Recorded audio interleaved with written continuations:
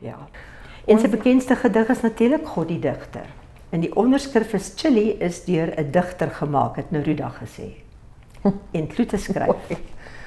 Daar is meer poesie in die sneeuvlokkie as in die letterkunde.